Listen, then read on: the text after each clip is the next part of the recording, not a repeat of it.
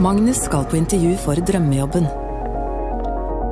Den jobben er det flere som kan tenke seg. Dyktige folk med høy kompetanse og klare ambisjoner. Med fokus og innsatsvilje for å nå sine mål.